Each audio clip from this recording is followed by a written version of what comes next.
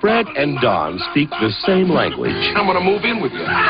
They share the same apartment. And they both act like animals. There's a horse in here.